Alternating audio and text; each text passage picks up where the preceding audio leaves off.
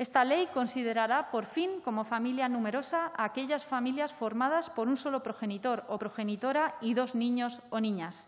Esta ley tendrá en cuenta la gravísima situación de vulnerabilidad y exclusión a la que se enfrentan muchas familias monomarentales en nuestro país. Insisto, y digo monomarentales porque el 80% de estas familias están encabezadas por una mujer.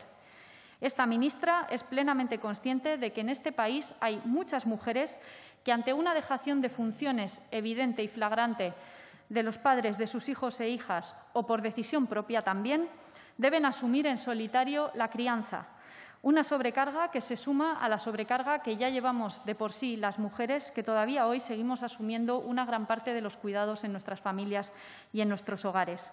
Madres que tienen que hacer malabarismos para que cuadre su horario laboral con el horario de la escuela infantil.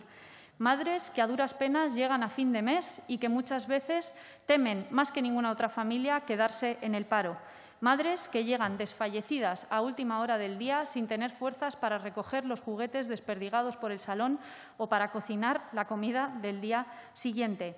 Madres que en este momento no están recibiendo el apoyo adecuado por parte de las instituciones públicas y eso es algo que vamos a revertir.